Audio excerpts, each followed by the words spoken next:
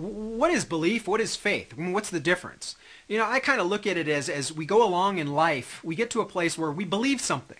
We intellectually accept it. Sometimes by a preponderance of the evidence, sometimes beyond a reasonable doubt. We certainly get to a point where we believe certain things. Uh, how uh, an observable universe is working, how the sun uh, works. Uh, we, we get to a point of belief.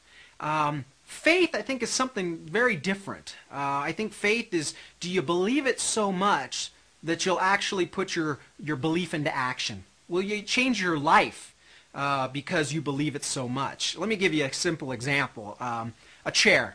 Um, you can look at a chair and uh, you can look at its materials and its construction and, and how it's been put together, its engineering, and you can say, yeah, I reasonably believe that this chair will support my weight.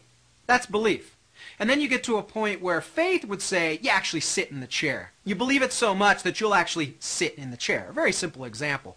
I like another example I heard where there's this guy, he's at Niagara Falls. He's a tightrope walker. He spread this tightrope across the falls, and he walks this tightrope across Niagara Falls. And there's this crowd of onlookers, and they're cheering, and he gets off the tightrope and he says, hey, do you believe that I can tightrope across Niagara Falls? And they all say, yeah, because we just saw you do it.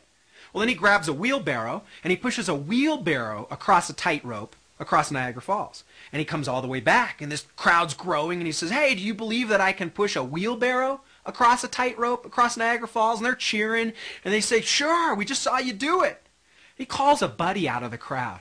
This buddy climbs into the wheelbarrow, and he pushes a guy in a wheelbarrow on a tightrope across Niagara Falls. He comes back, the people are out of control. They're cheering, there's hundreds that are lining the falls.